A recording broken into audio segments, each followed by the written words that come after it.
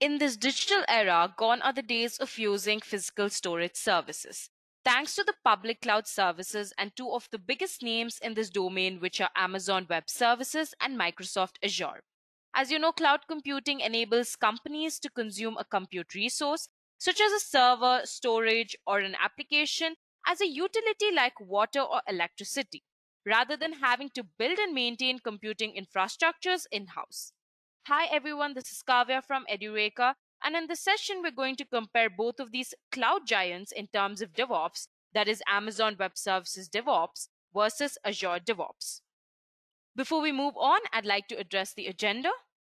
Firstly, we will understand what is DevOps, followed by what is Amazon Web Services. Also, we will discuss some Amazon Web Services DevOps tools. Moving on, we will understand what is Azure, and then we will discuss Azure DevOps tools. Finally, we'll conclude the session by comparing Amazon Web Services DevOps versus Azure DevOps. Now, if you like our videos, please don't forget to subscribe and press that bell icon to never miss the latest updates on the Edureka YouTube channel. Also, check out our Edureka training certifications. The link is given in the description box below. Now, without much ado, let's move on to the first part of the session and understand what is DevOps. So before we understand the actual technical meaning of DevOps, let us understand it by taking an example of baking. Suppose you want to make brownies. You have different ingredients, each of them contributing to the brownie's taste. You must use different tools like the oven, stove, etc. You also have the recipe which should be followed step by step. Without either of these things, you wouldn't even be close to making brownies, right? Now let's compare baking brownies with the software development process in the IT industry. Your ingredients here represent different teams like development, operations, testing, etc. Baking tools, on the other hand, symbolize different DevOps tools like Git, Jenkins, Docker, etc., which makes the process easier. The recipe, on the other hand, symbolizes the process of the software development, which should be followed step by step to get the best results. DevOps is simply a set of software development practices that combines two teams, that is, the development and operations, to shorten the software development lifecycle while delivering features, fixes, and updates frequently in close alignment with business objectives. It is basically a collaborative approach to developing and deploying software. It brings the development and the operations team to cooperate and work together, making the entire software development process faster and more efficient. I hope the meaning of DevOps is clear. Now let's move on and understand what is Amazon Web Services. Now, if you move back in time, the scenario of handling or more precisely storing data was extremely different than it is now. Companies preferred storing data using their private servers.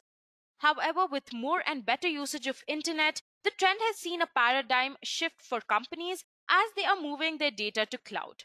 This enables companies to focus more on core competencies and stop worrying about the storing and computation. AWS stands for Amazon Web Services which is an Amazon.com subsidiary which offers cloud computing services at very affordable rates, therefore making its customer base strong from small scale companies. AWS is one of the best cloud service provider and DevOps on the other hand is the need of the hour implementation of software development lifecycle. Now that we know what AWS is, let's move on and check out the AWS DevOps tools. The first tool that we'll be addressing is the AWS Code Pipeline. AWS Code Pipeline is a continuous integration and continuous delivery service for fast and reliable application and infrastructure updates. Code Pipeline builds, tests, and deploys your code every time there is a code change based on the release process models you define. So, the Code Pipeline enables you to rapidly and reliably deliver features and updates. Moving on, we have AWS Code Build. AWS Code Build is a fully managed build service that compiles source code, runs tests, and produces software packages that are ready to deploy.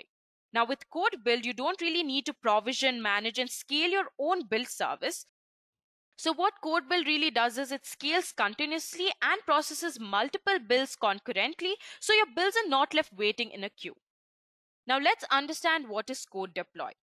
As the name suggests, AWS Code Deploy automates code deployments to any instance, including Amazon EC2 instances and on premises servers.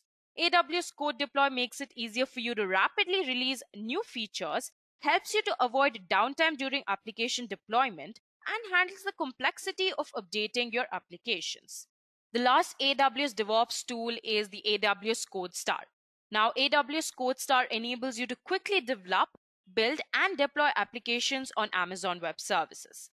Now, AWS CodeStar provides a unified user interface, enabling you to easily manage your software development activities in one place. You can think of AWS CodeStar as an interface or a platform to handle all of your activities. With AWS CodeStar, you can set up your entire continuous delivery tool chain in minutes, allowing you to start releasing code faster. Now that we understand what is AWS and some of its DevOps tools, let's move on and understand what is Azure.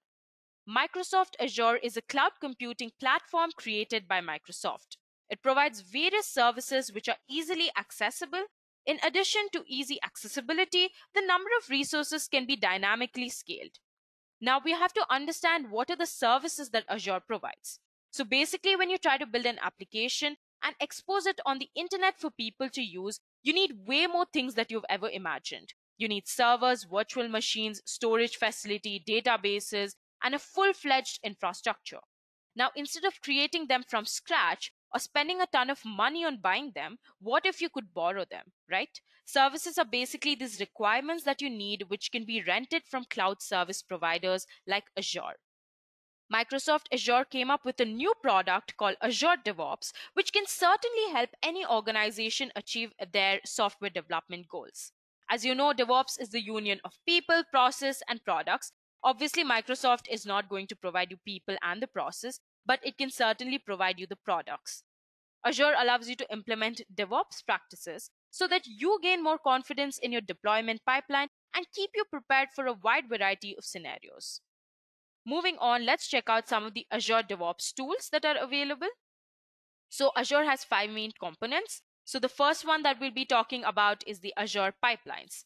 Now, this is a widely used tool. Azure Pipeline lets you build, test, and deploy in any language on any platform or to any cloud. Even though it's called Azure Pipeline, it actually lets you deploy anywhere you wish, be it Amazon Web Services, Google Cloud Platform, Raspberry Pi, or even your own platform. It basically supports containers and it allows you to easily integrate with containerization platforms like Kubernetes.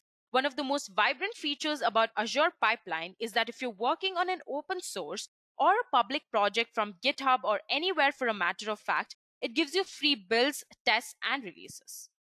The next tool is the Azure Boards. Now, Azure Boards lets you track your work with configurable boards, interactive backlogs, and powerful planning tools. It basically lets you track all your ideas at every development stage and keeps your team synced with all the code changes. That is, it keeps you forever Scrum ready. It also helps you get a good insight into the health and status of your project with amazing analytical tools. Next tool that we're going to address is the Azure Artifacts. Now, Azure Artifacts lets you share Maven, NuGet, and Python packages from public and private sources with the entire team. It basically lets you integrate packages with your CI CD pipeline in the most efficient, scalable, and simple way. It also lets you keep your packages safe and secure. The next tool that we'll be talking about is the Azure repositories. So this gives you flexible, powerful Git hosting with amazing code reviews and unlimited free repositories for all your ideas. It basically lets you connect with any integrated development environment, Git client, or an editor. It also supports webhooks and an application programming interface integration. It gives you a cool feature, a semantic code search as it understands variables and classes. The last tool that we'll be addressing is the Azure Test Plans. As the name suggests, it provides a wide variety of manual and exploratory testing tools. It lets you test your application on desktops or web applications. It also captures data while you execute tests to make the defects actionable. This basically helps in releasing faster and with confidence. Now that we know what AWS and Azure is, Let's move on and compare AWS DevOps versus Azure DevOps. So let's talk about the services that it provides. The Amazon Web Services Code Pipeline is a continuous delivery service for fast and reliable application updates. Code Pipeline builds, tests, and deploys your code every time there is a code change based on the release process models you define. On the other hand, Azure DevOps services for teams to share code, track work, and ship software. Azure DevOps provides unlimited private Git hosting, cloud build for continuous integration, agile planning, and release management for continuous delivery to the cloud and on premise. It also includes a broad integrated development environment support. In the next comparison, we will talk about what category of tech stack do they belong to. As you can see, Amazon Web Services code pipeline belongs to continuous deployment category of the tech stack, while Azure DevOps can be primarily classified under integrated development environment tools. Now let's talk about the features of Amazon Web Services and Azure. As you can see, Amazon Web Services provides workflow modeling, AWS integration, and it also has some pre-built plugins in it. Whereas Azure, on the other hand, provides agile tools like Kanban boards, backlogs, Scrum boards, and it also provides reporting tools like dashboards, widgets, Power BI, etc. And it also allows you to integrate with Git, which provides free private repositories and pull requests. Now, why do people like AWS is because it is extremely simple to set up, whereas Azure, on the other hand, is a complete package. It's full and it's very powerful. Now, let's move on and check out the uses of AWS and Azure. As I've already mentioned, AWS is extremely simple to set up. It also has several managed services. It can be easily integrated with GitHub and it also has parallel execution. Deployment is completely automatic and there are manual steps available so you're never lost. Azure, on the other hand, supports open source. It also has several integrations. That is, it can be easily integrated with GitHub and Jenkins. It also has several project management features. And the most important plus point of Azure is that it is free for stakeholders. I hope the uses between AWS and Azure are extremely clear. Now let's move on and talk about AWS and Azure clients. So Amazon Web Services is used by companies like PlayHQ, Affirm, Curo Education, UP, Ready4, and Bitbank Incorporation. Whereas Azure has clients like Microsoft, Kingsmen Software, Evodeck Digital, Muse, Energy to Market, and QR Point. Now, the next important difference is with what tools that these cloud services can be integrated with. Amazon Web Services, as you can see on the screen, can be easily integrated with GitHub, Jenkins, Amazon EC2, Amazon S3, AWS Elastic Beanstalk, RunScope, and CloudBees. Azure, on the other hand, can be easily integrated with Git and GitHub, Docker, Slack, Jenkins, Trello, and Visual Studio. Now let's move on and compare the salary of an AWS DevOps engineer and Azure DevOps engineer. As you can see on the screen already, the median salary for an AWS DevOps engineer is rupees 4,67,000 rupees. Whereas the median salary for an Azure DevOps engineer is about rupees 6 lakhs 4,000 rupees a year. With this, we come to the end of today's session. I hope you had a great time understanding the differences between AWS DevOps versus Azure DevOps. If you have any queries or questions, feel free to comment below. Have a great day. Until next time, thank you. I hope you have enjoyed listening to this video. Please be kind enough to like it and you can comment any of your doubts and queries and we will reply them at the earliest. Do look out for more videos in our playlist and subscribe to Edureka channel to learn more. Happy learning!